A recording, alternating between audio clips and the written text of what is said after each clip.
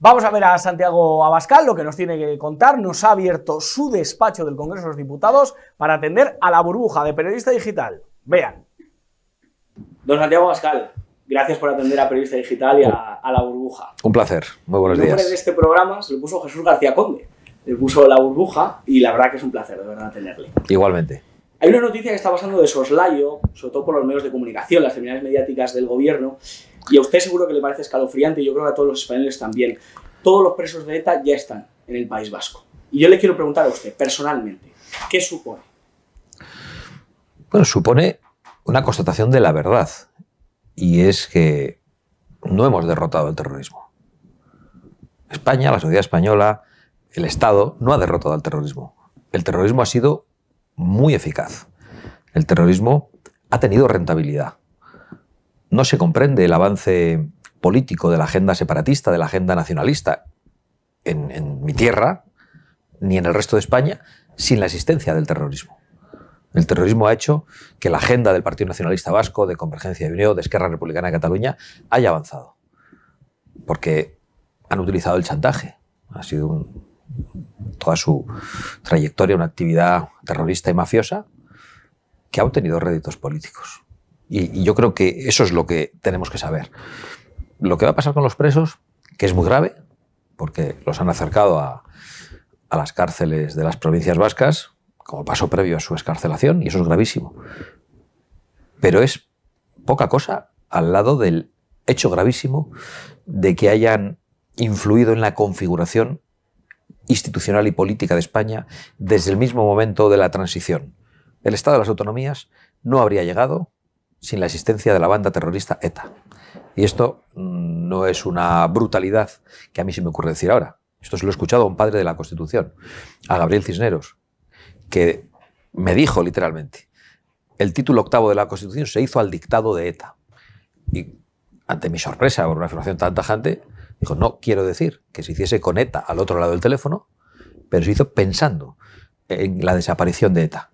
Llevamos 40 años concediendo cosas al separatismo, al separatismo supuestamente democrático, aunque no lo hay tal, y al separatismo terrorista, pensando en la integración del mismo en, la vida nacional. Y es imposible. No ha funcionado. Al contrario. Han obtenido, han ganado, han hecho avanzar su agenda política y en la sociedad vasca permanece el miedo y permanece el odio. Este tema se debería estar hablando. Muchas veces cuando usted desde la tribuna dice que te vote Chapote al señor Sánchez en los mítines, muchos jóvenes no saben quién es Chapote. Pachi López dice que es una victoria de la democracia. El otro día se lo preguntamos cuando le dijimos, usted ha enterrado compañeros, usted ha ido a funerales. Han conseguido ETA acercar a todos los presos, que era su pretensión absoluta. ¿Con qué cara Pachi López se dirige ahora a sus votantes? ¿Con qué cara se le puede vender a la población que eso es una victoria realmente de la democracia? Bueno, los socialistas no tienen, no tienen principios. Los socialistas solo buscan el poder a cualquier precio, eso es lo que nos han demostrado en los últimos años. Y por lo tanto, cualquier posición de los socialistas no puede ser más reprochable. Pero sobre todo, la de pretender olvidar lo que ha pasado en la España de, de ayer, a la vez que pretenden recordar permanentemente lo que ha pasado en la España de hace un siglo y pretender que los españoles volvamos a enfrentarnos por una guerra civil de hace un siglo, con una ley de memoria histórica inaceptable en una democracia, que pretende arrebatarnos la libertad de expresión más básica, la, libertad de cátedra y que pretende decir a los historiadores lo que tienen que opinar. En cambio, sobre ETA ya no se puede hablar. El que habla sobre ETA, inmediatamente ridiculizado. Ya están con el monotema pero sobre una guerra civil que prácticamente no han conocido eh, ni nuestros abuelos, sobre esa hay que estar hablando todo el día. Es absolutamente tremendo. No se habla de esto y se habla de Ana Obregón. Es el gran tema de actualidad en el que opina Irene Montero, está opinando todo el Congreso de los Diputados. Y yo le quiero preguntar, ¿cuál es la posición de Vox sobre la gestación subrogada? Bueno, en primer lugar, la posición de Vox sobre la gestación subrogada es una posición clara y y es contraria a la gestación subrogada y a la mercantilización de, la vida humana y del cuerpo de la mujer. Creemos que un niño, una vida, no es un complemento para hacernos felices. Y creemos que eso hay que valorarlo, que la vida ha de tener lugar en el seno de una familia y en las circunstancias que han venido siendo normales. Dicho lo cual, yo no voy a juzgar a una sola persona, ni voy a participar en un linchamiento público en España, y menos en una España en la que el gobierno está premiando a 800 violadores, en la que el gobierno pacta con terroristas, en la que el gobierno arruina a su propio pueblo con una política energética absolutamente suicida votada en el Congreso de los Diputados, yo no voy a contribuir al linchamiento de absolutamente nadie, siendo muy clara nuestra posición contra la gestación subrogada. Y por otra parte me pregunto, ¿por qué de repente esto forma parte de todos los titulares como si fuese la primera persona famosa que ha optado por esta opción? Cuando lo hace una pareja de gays para tener uno, dos o tres niños por gestación subrogada, no hemos visto que se produzca este debate en la sociedad española.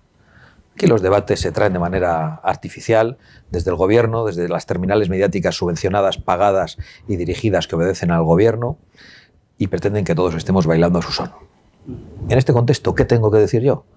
Que este gobierno ha premiado 800 violadores, que este gobierno ha puesto a las mujeres en riesgo, que este gobierno ha rendido nuestras fronteras, que este gobierno obedece a una nación extranjera, que este gobierno obedece instrucciones de los millonarios en el foro de Davos y que este gobierno ha mentido al pueblo español, que este gobierno no representa a los españoles.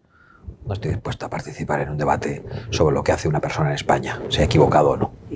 Hablando de terminales mediáticas, últimamente, y es verdad, en su discurso usted habla contra ciertos periodistas, habla contra la prensa, y le entiendo, no somos una casta especial y nos podemos merecer cualquier calificativo que cualquier político cualquier ciudadano nos haga. ¿Qué tiene pensado Vox? Si llega un día al gobierno, ¿cuál va a ser su medida? ¿Cuál va a ser su política con la prensa, con la política? Porque muchos dicen que hay vetos, cuando nosotros, por ejemplo, estamos vetados por el Partido Socialista, estamos votados por Podemos. ¿Cuál va a ser su alternativa en, el medio, en los medios de comunicación? Bueno, en primer lugar, yo creo que aquí no puede haber bula para nadie. Ni para los políticos, ni para la prensa. La prensa o una parte muy importante de la prensa cree que puede hablar de los políticos con toda la dureza y que no se le puede contestar. Parece que son los jueces que tienen derecho a emitir veredicto y que uno tiene que acatar, callar, y en cuanto uno contesta a un periodista sale la FAPE, la FEPA y la madre que los parió a todos, diciendo que representan la libertad de expresión en España, que consiste exactamente en que a un político se le puede linchar por parte de la prensa y que el político no puede responder. Eso es intolerable.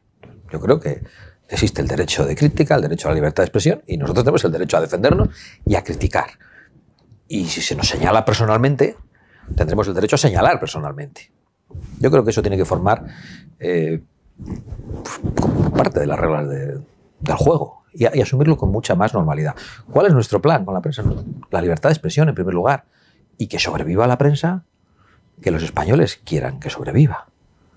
No la prensa que el poder quiere que sobreviva, no la prensa a la que se salva con dinero público porque es una prensa afín u obediente que sobreviva la prensa que los españoles quieran ver, que haya de verdad verdadera capacidad de elegir. Igual que decimos lo mismo para los partidos políticos. Nosotros estamos en contra de la financiación pública de partidos, de sindicatos y de organizaciones patronales. A los sindicatos que lo sostengan sus asociados. A los partidos que lo sostengan sus afiliados. A la prensa que la sostengan sus suscriptores. Eso es lo que pensamos. Y eso en España no existe. Hoy en España sobreviven medios de comunicación artificialmente, absolutamente dopados, con dinero público, en un acto que no está tipificado en el Código Penal, pero que forma parte de una especie de corrupción que nosotros vamos a seguir denunciando. Lo dicho, nosotros lo que queremos es libertad y que sobreviva aquello que los españoles quieran que sobreviva y que, que, presta de verdad un servicio a la sociedad. Y lo mismo decimos de los partidos políticos y los sindicatos, como, como insistía, por cierto el sindicato Solidaridad, el sindicato con el que Vox tiene una alianza, ha conseguido, sin apoyo público, únicamente con el apoyo de sus asociados y con el apoyo de los españoles que lo han votado en distintos procesos electorales, en los 100 primeros procesos a los que se ha presentado, ya ha conseguido ser el segundo sindicato en España, ganando a comisiones obreras en representación sindical. Y hoy está firmando una alianza precisamente en, en Europa con sindicatos europeos que representan a millones de trabajadores, que son sindicatos anticomunistas y que han conseguido arrebatar ese monopolio que la izquierda pretendía tener en la representación de los trabajadores. Todos los miércoles nosotros en este programa entrevistamos a alguien de solidaridad y nos gusta proteger a los trabajadores y creo que esa acción es importante. Llegan las municipales y autonómicas, no sé cómo prevén éxito, porque es muy curioso, en 2015 Podemos conquistó Madrid, conquistó Barcelona, conquistó Valencia, Cádiz, La Coruña.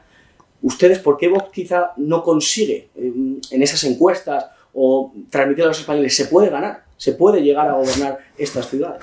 Bueno, algunos han conquistado todo y lo han perdido rápidamente. Nosotros estamos construyendo una alternativa política sólida en España, que durante cuatro años ha sobrevivido a muchos avatares y sobre todo a todos los certificados de defunción que sobre Vox se han emitido.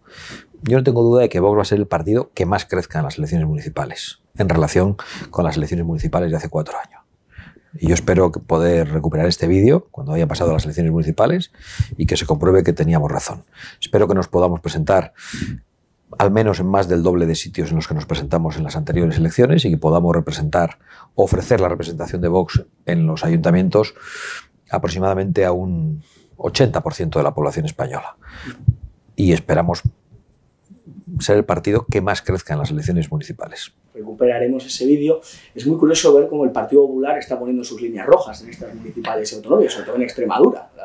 una Guardiola ha dicho, nuestras líneas rojas se parecen mucho a las del PSOE, es muy curioso cuáles son sus líneas rojas. Para poder gobernar, para darle una alternativa a los españoles, ¿cuáles son las líneas rojas de Santiago Abascal y de Vox?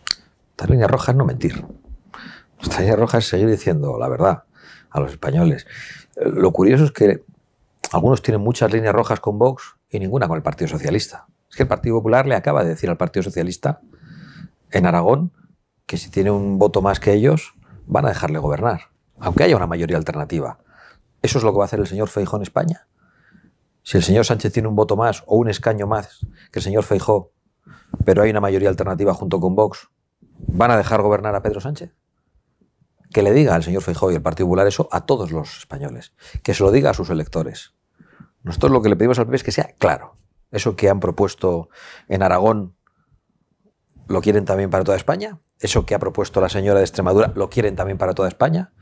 Nosotros somos muy claros y decimos lo mismo en todas partes. Queremos una alternativa completa, radical al Partido Socialista y a todas sus políticas.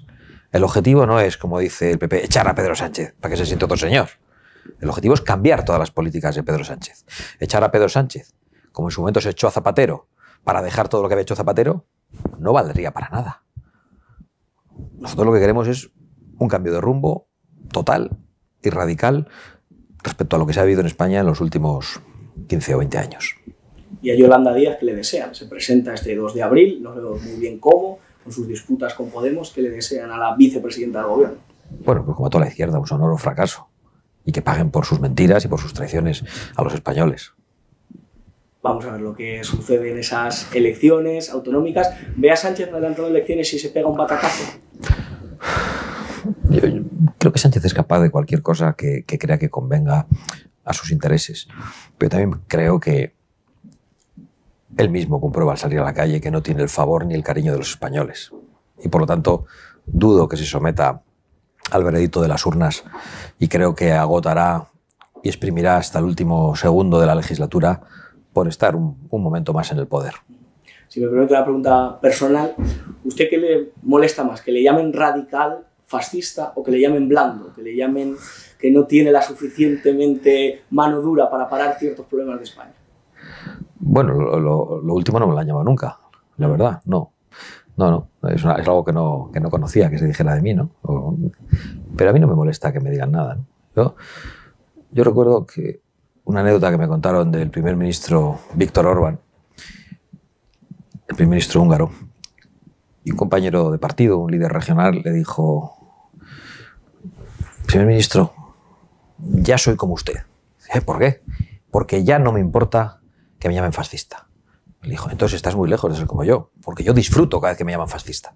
Entonces, cuando, cuando la izquierda te llama fascista, es que estás acertando en algo. Es el único argumento que tienen, que no es un argumento, que es un insulto, que es un modo de descalificar para que uno tenga que defenderse.